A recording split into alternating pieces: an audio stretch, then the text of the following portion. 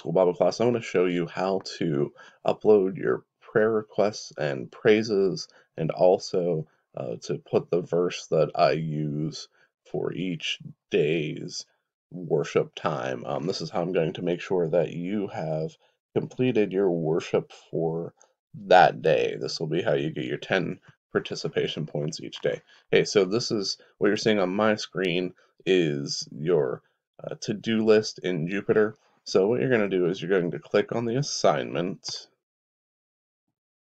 And then there's only going to be one option here. I've limited it so that everything comes in, in the same format.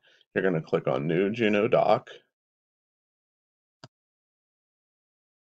And then this is a space that you can use like a word processor like Google Docs or, or um, Microsoft Word. Uh, and you just type in whatever you want it to be. Type in your praises, type in your requests, and then you can put the verse reference down here, uh, you know, whatever that may be, say Matthew 10, you know, 24 through 29, let's just say. Um, you know, type your praises up here, type your requests here, and you can go ahead and after you're done with that, click turn in and it'll turn it into me and I'll be able to see it. And that is how you upload your praises and prayer requests.